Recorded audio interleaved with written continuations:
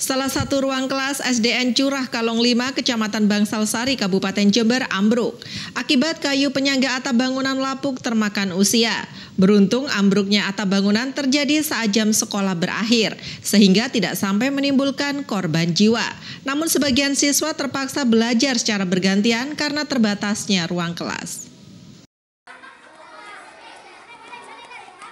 Peristiwa ambruknya atap bangunan ruang kelas 3 SDN Curah Kalong 5, Kecamatan Bansal Sari, Kabupaten Jember ini terjadi pada Rabu kemarin sekitar pukul 2 siang. Kondisi genteng dan kayu penyangga bangunan terlihat berserakan di dalam kelas dan menimpa seluruh bangku dan kursi yang digunakan siswa untuk belajar.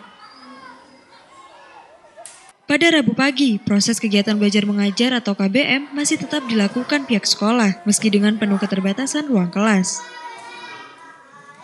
Untuk sementara seluruh siswa kelas 3 yang kelasnya ambruk terpaksa harus mengikuti kegiatan belajar mengajar secara bergantian di ruang kelas 1. Sebelumnya pihak sekolah sebenarnya telah mengajukan proposal perbaikan ruang kelas 3 kepada Dinas Pendidikan setempat. Karena kondisinya cukup memprihatinkan dan sangat tidak layak untuk ditempati, sayangnya tidak mendapatkan respon.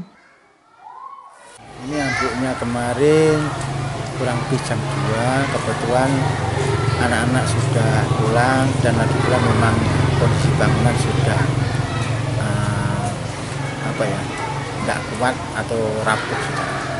Jadi waktu ada hujan gerimis jam 2 itu akhirnya terjadi roboh.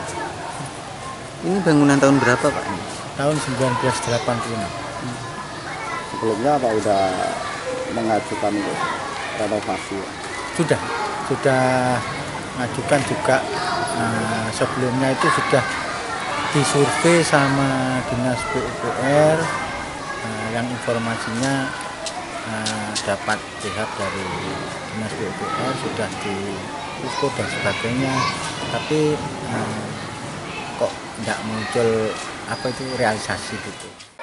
Pihak sekolah SDN Curah Kalong 5 berharap Dinas Pendidikan Kabupaten Jember segera melakukan perbaikan agar kegiatan belajar mengajar siswa berjalan normal. Dari Bangsal Sari, tim liputan mengabarkan untuk KJTV.